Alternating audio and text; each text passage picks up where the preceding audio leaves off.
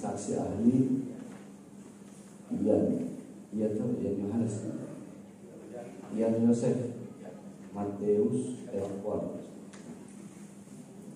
Nasrani Oh. Baik, saya tidak akan panjang lebar saksi ahli. Anda ini ahli ITE ahli hukum? Itu aja. Ahli ITE. Nah, ketika Anda ahli ITE, kenapa ketika di BAP ada berapa tadi masalah hukum yang dijawab? Hah? Kenapa Anda menjawab 14 masalah hukum padahal Anda ahli ITE? Eh, jadi yang saya jawab itu menurut aturan dari ITA. Orang orang ITA itu mengerti ya, memahami tentang hukum, tapi bukan dalam kayak hukum pidana mungkin enggak.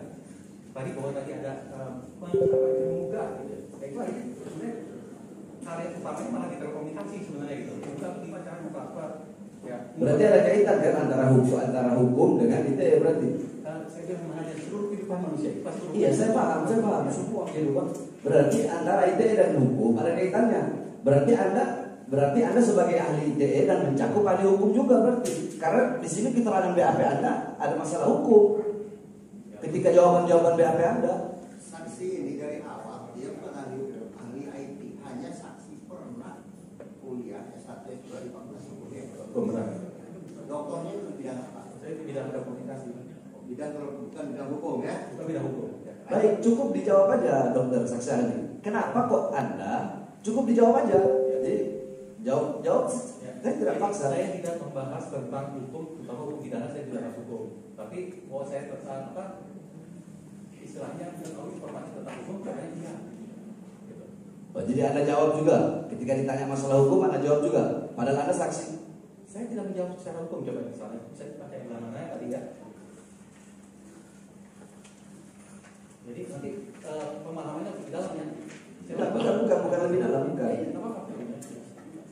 Ini kan semua masalah hukum nih contoh.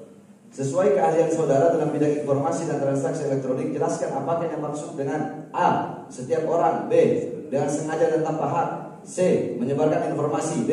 Menimbulkan rasa kebencian sampai akhir Nah di sini anda jawab A. Setiap orang adalah per- perorangan B.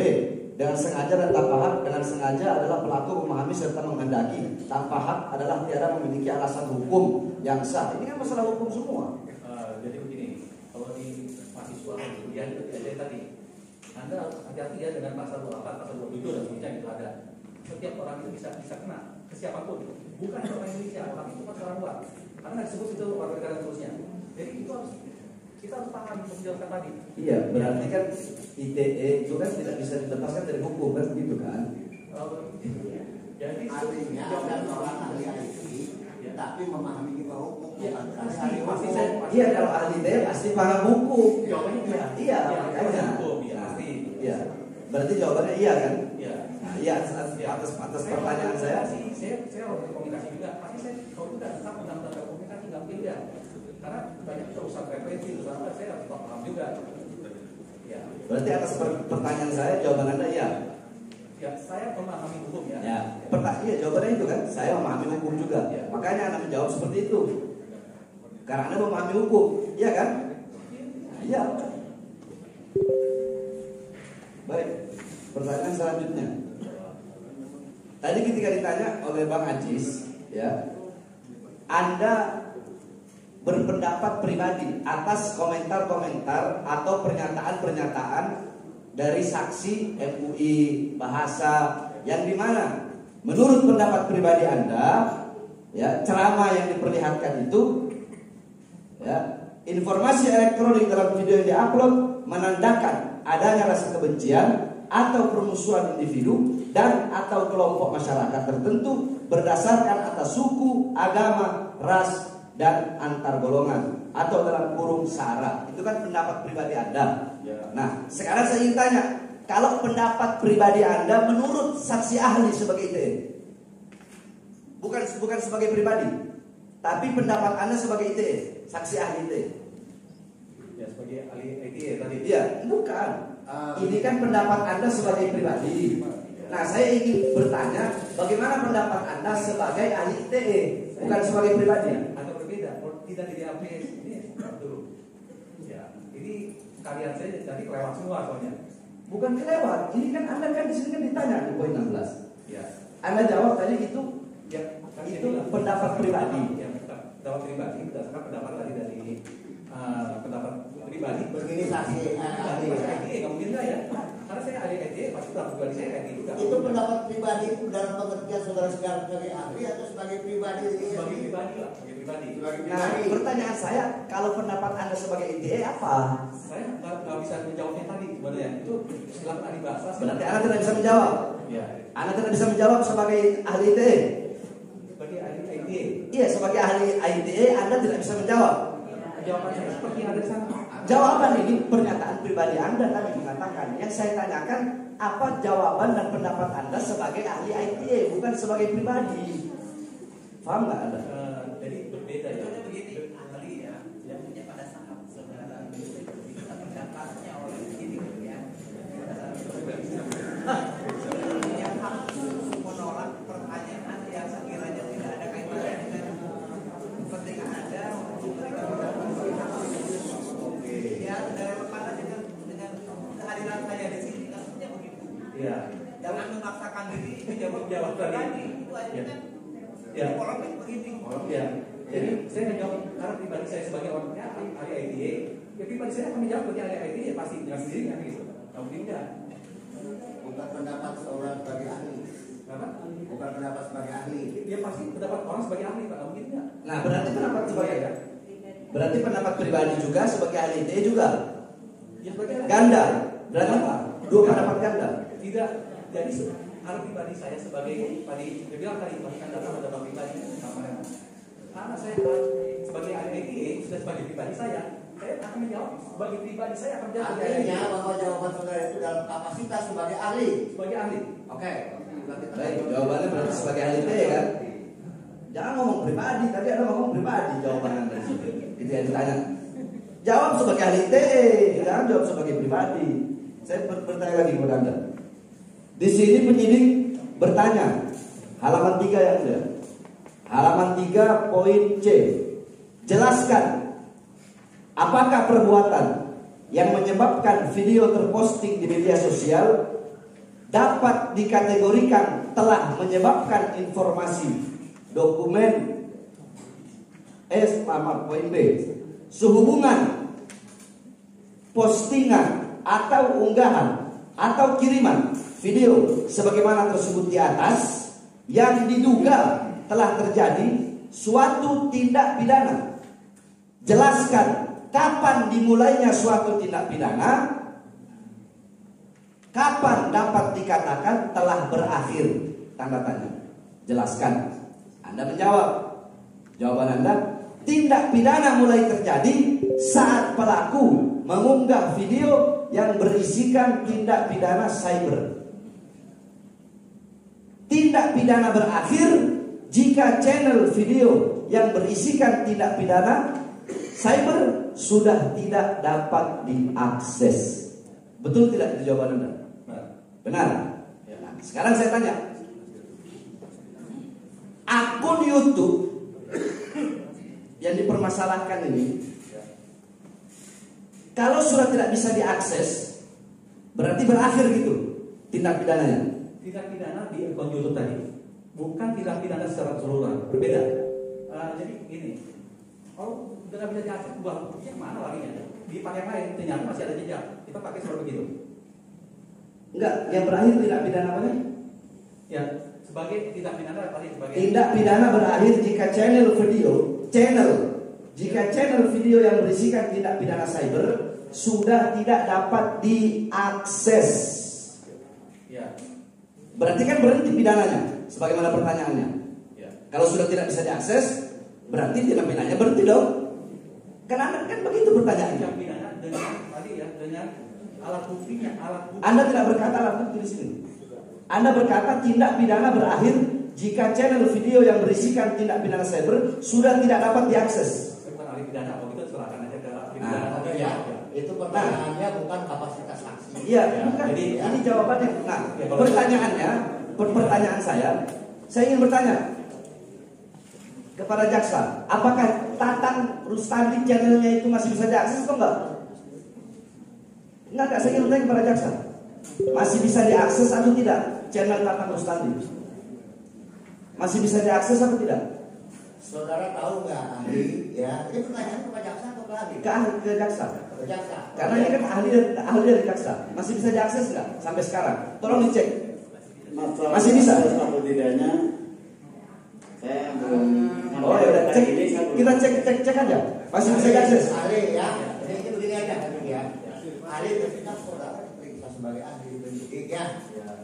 Apakah pada saat itu panel ini ya yang tadi itu masih bisa dibuka kan? masih bisa dibuka. Kalau sekarang masih bisa dibuka kan?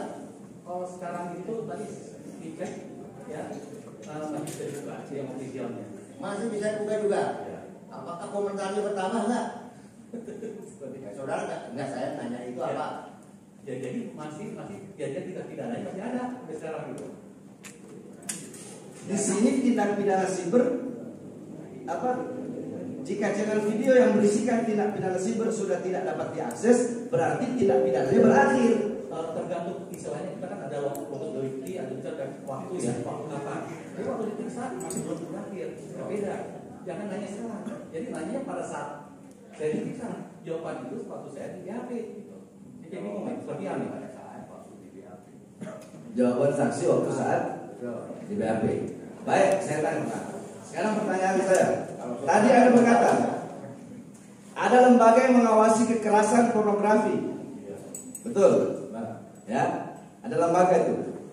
Lembaga itu mengawasi semua media sosial, YouTube, Google, Instagram, TikTok, apa pun itu.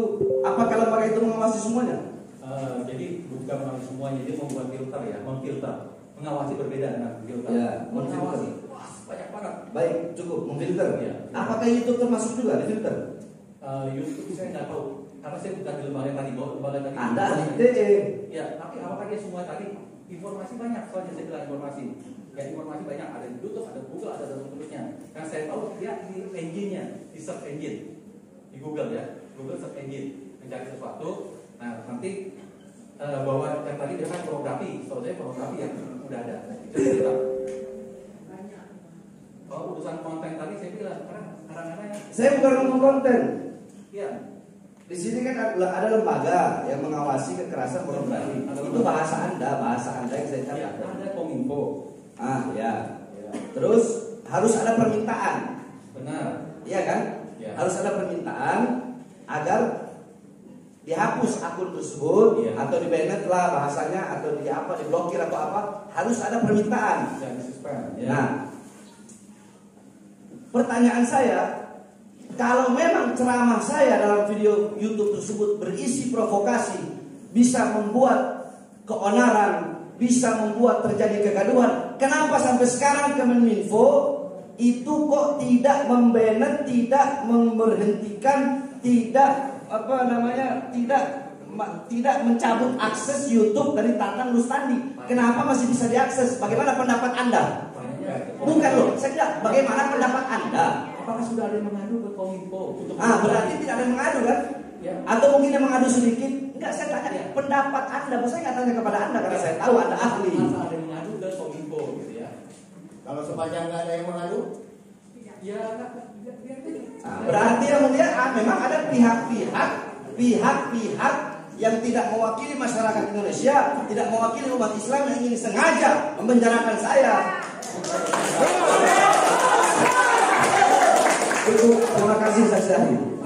Mohon maaf, bahasa saya memang begini. ah, saudara ahli ya, jadi jangan ya. pengacara juga kan. Tapi sekarang saya tanyakan perkataan. Mohon izin mulia.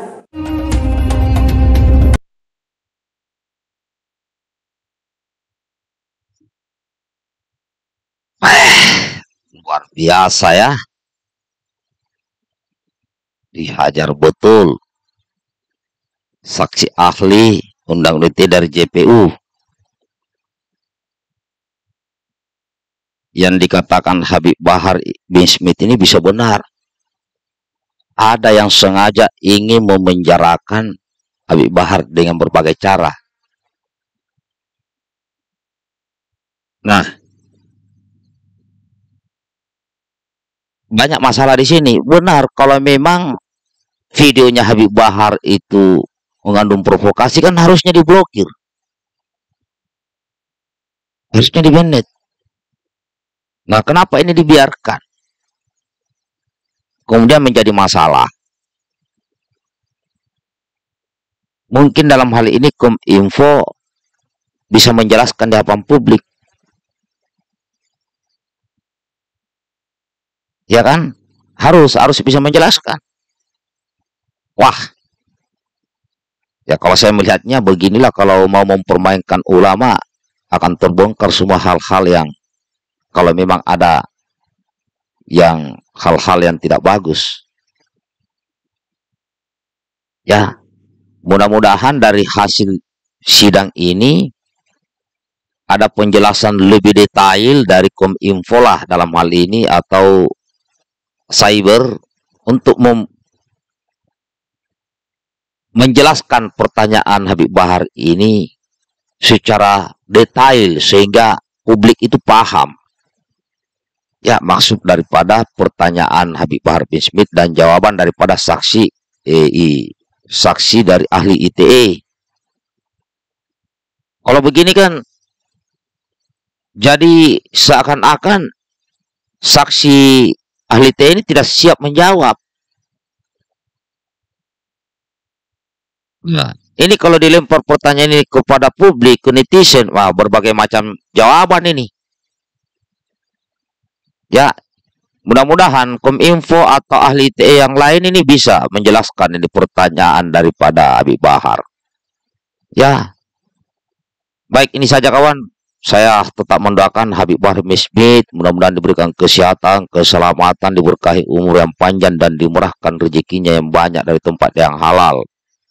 Saya juga tak lupa mendoakan para hakim termasuk saksi ahli ITE tadi saya juga tetap mendoakan agar diberikan kesehatan, keselamatan, diberkahi umur yang panjang dan dimurahkan rezekinya yang banyak. Demikian kawan, silakan berdiskusi, hindari pelanggaran-pelanggaran yang bersifat pelanggaran undang-undang ITE. Mereka, Assalamualaikum warahmatullahi wabarakatuh.